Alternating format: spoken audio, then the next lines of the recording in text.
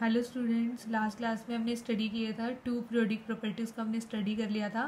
First is atomic size and second is ionisation energy ठीक है?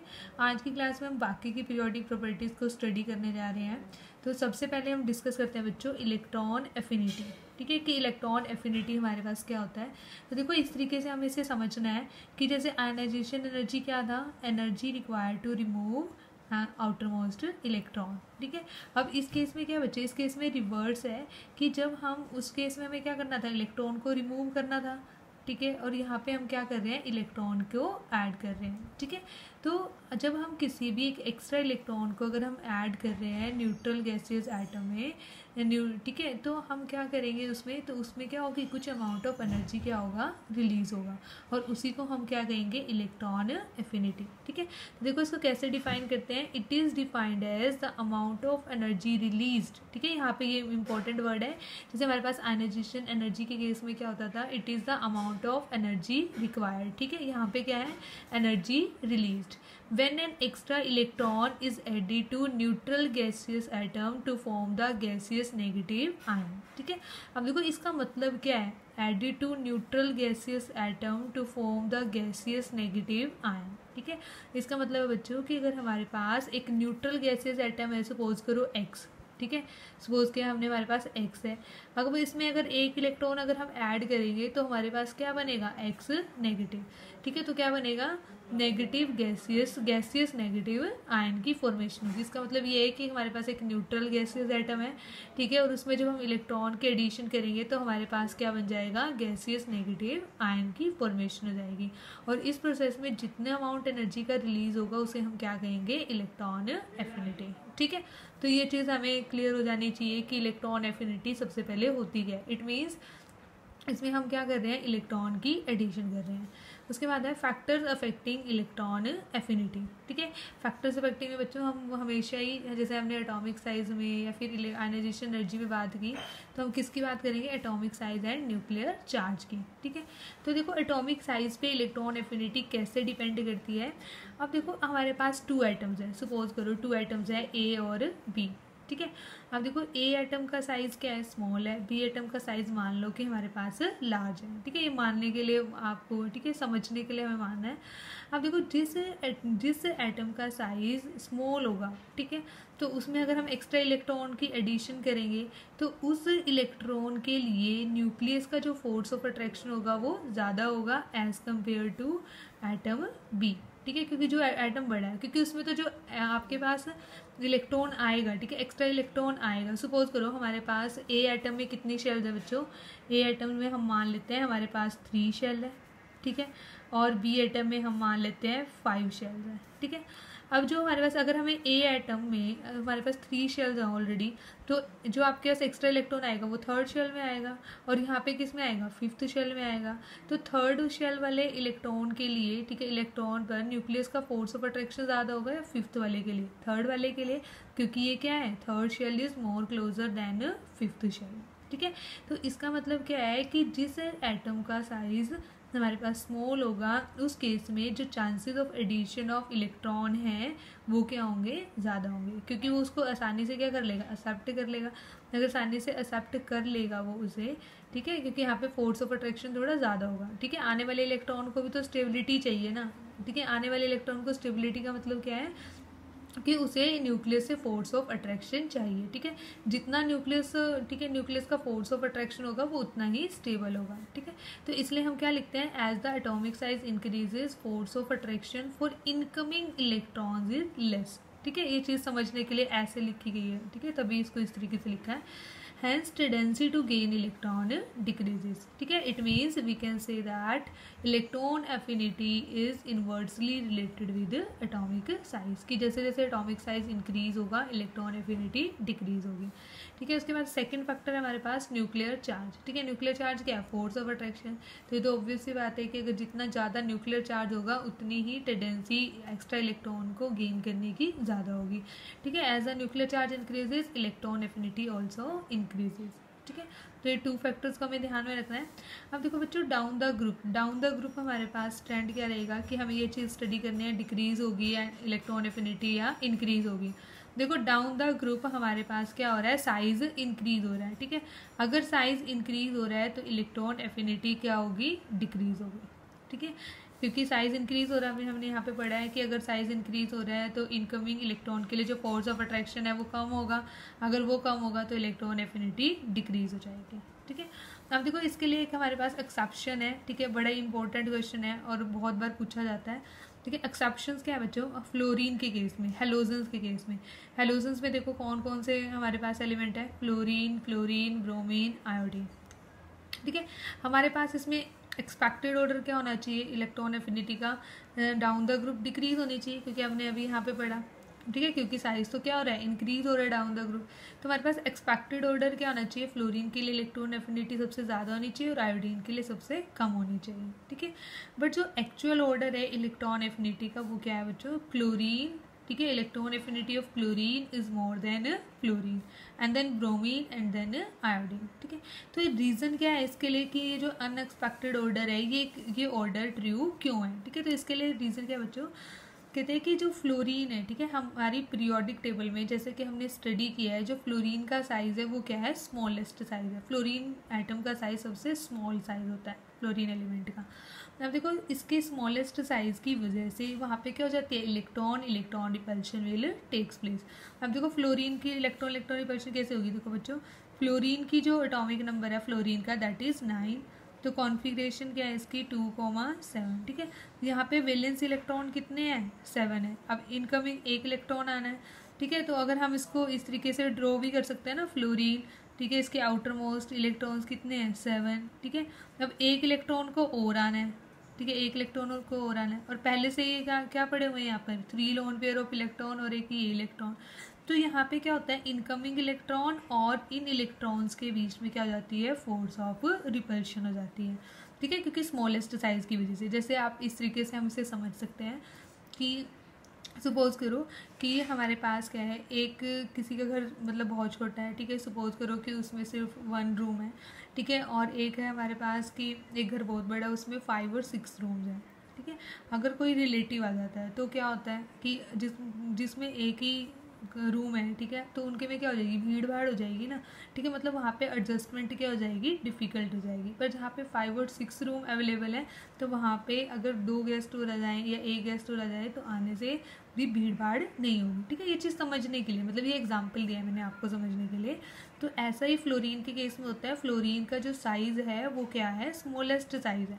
अगर इसका साइज़ स्मॉलेस्ट होगा तो यहाँ पे क्या चाहिए? अब इलेक्ट्रॉन को आना है इलेक्ट्रॉन पहले से भी पड़े हुए हैं, ठीक है? यहाँ पे इसके पास इलेक्ट्रॉन पहले से है। तो वो क्या हो जाएगी? उन इलेक्ट्रॉन इलेक्ट्रॉन के बीच में रिपल्शन हो जाएगी और उसकी वजह से ये क्या करेगा? ये इलेक्ट्रॉन गेन करने की इसकी टेंडेंसी क्या हो जाएगी? कम हो जाएगी। तो इसलिए इसकी इलेक्ट्रॉन एफिनिटी कम होती है क्लोरीन से। ठीक है? फिर क्वेश्चन ये अराइज होता है कि ब्रोमीन और आयोडीन का तो साइज़ क्लोरीन से भी ज़्यादा है तो इसका मतलब तो आयोडीन के लिए सबसे ज़्यादा होनी चाहिए थी। नहीं, ऐसा नहीं होता, क्योंकि जो क्लोरीन है क्लोरीन के पास इतनी क्लोरीन का साइज़ इतना सफिशेंट होता है कि वो आसानी से इलेक्ट्रॉन को गेन कर सकता है, ठीक है? और यहाँ पे इनका साइज़ बहुत ज़्यादा हो जाता है और हमने पढ़ा है कि जैसे जैसे साइज़ इंक्रीज़ होता है तो इलेक्ट्रॉन एफिनिटी डिक्रीज़ करती है, ठीक है? तो ये सिर्फ़ इफ़ेक्ट किस केस में जाएगा? ओनली फ्लोरीन की इलेक्ट्रॉन एफिनिटी क्लोरीन से कम होगी, बाकी ब्रोमीन और आयोडीन से कम नहीं होगी। ठीक है? तो ये बहुत इंपॉर्टेंट क्वेश्चन है कि अनएक्सपेक्टेड ऑर्डर हमें क्यों मिलता है? Due to smallest size of fluorine more electron electron repulsion will takes place ठीक है? Therefore fluorine has lower electronegativity as compare to chlorine atom ठीक है? क्लोरीन एलिमेंट तो क्लोरीन से कम हो जाती है, ठीक है? तो हमारे पास ये थर्ड प्रॉपर्टी थी इलेक्ट्रॉन एफिनिटी इसी तरीके से बहुत सारे क्वेश्चन आएँगे, ठीक है? हम बाद में उसको डिस्कस भी करेंगे। उसके बाद बच्चों, हमारे पास फोर्थ प्रॉपर्टी आती है इलेक्ट्रोनेगेटिविटी ठीक है? इलेक्ट्रोनेगेटिविटी अब देखो इलेक्ट्रोनेगेटिविटी क्या है? जैसे हम, वैसे एज यूजल हम ये बोलते हैं ना कि जैसे हाइड्रोजन है एच सी एल है, ठीक है? तो यहाँ पे क्या होता है? एच के ऊपर डेल्टा पॉजिटिव आ जाता है चार्ज ठीक है? जब ये बॉन्ड टूटते हैं और एच सी एल के ऊपर नेगेटिव क्यों? Because chlorine is more electronegative than hydrogen हम कहते हैं कि जो क्लोरीन है, वो क्या है? मोर इलेक्ट्रोनेगेटिव है। ठीक है? हाइड्रोजन से। तो इलेक्ट्रोनेगेटिविटी को हम बच्चे कैसे डिफाइन करते हैं?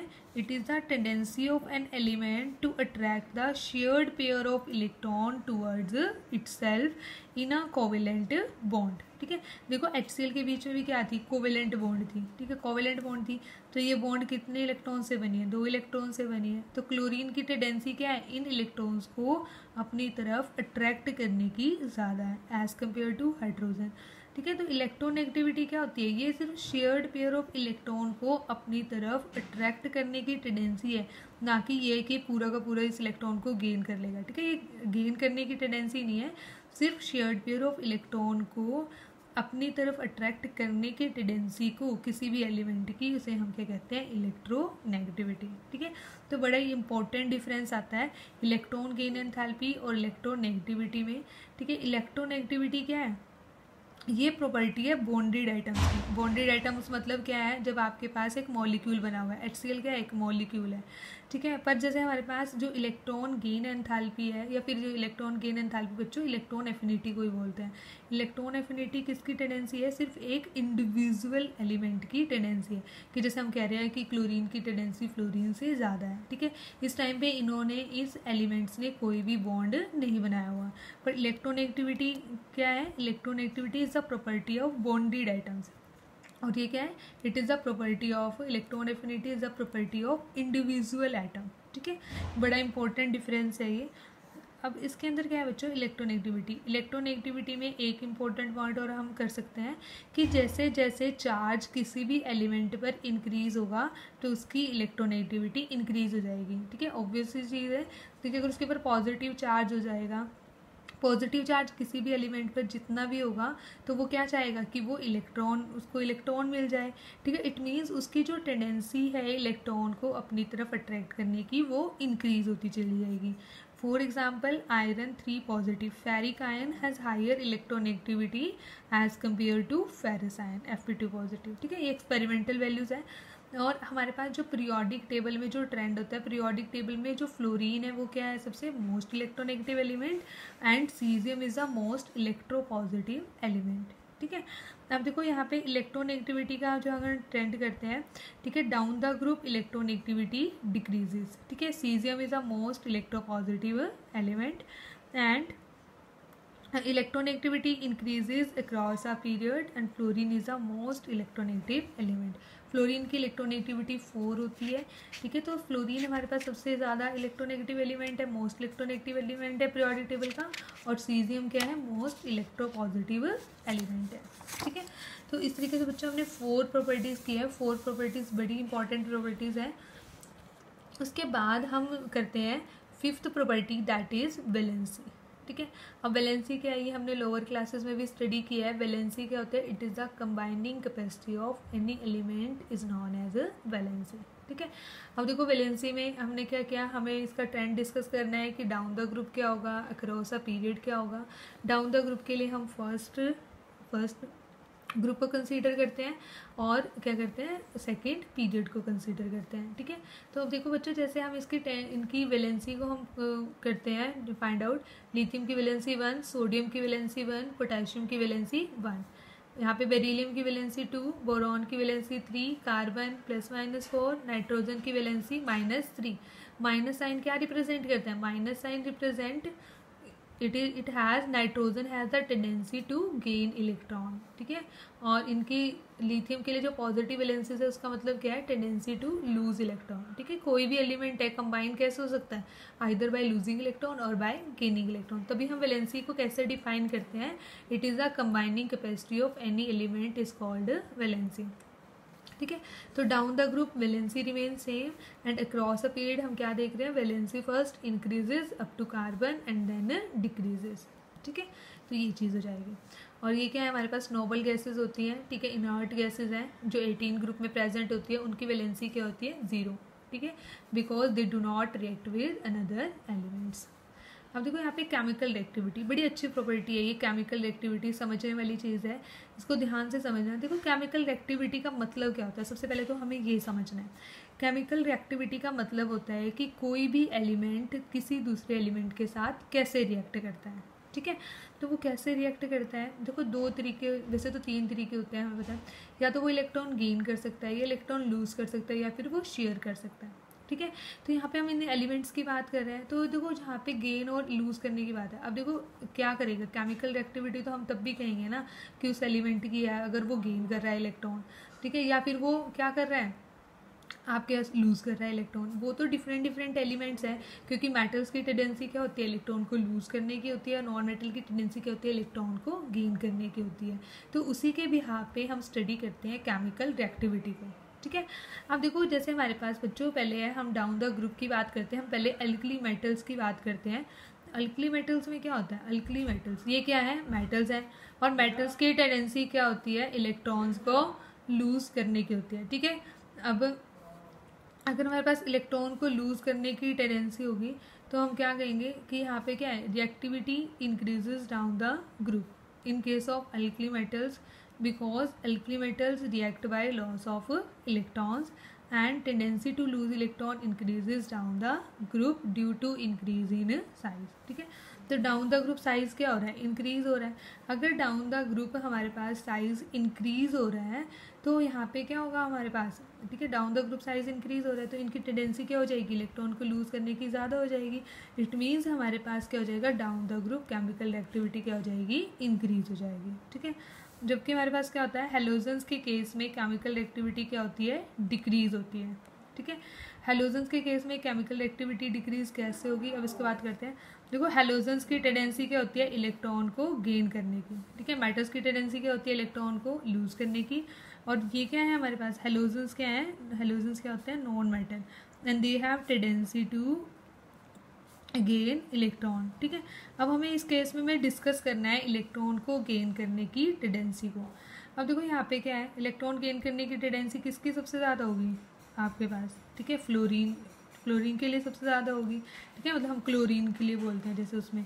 तो यहाँ पे क्या जाएगी? Chemical activity decreases down the group ठीक है, यहाँ पे जनरल बात कर रहे हैं।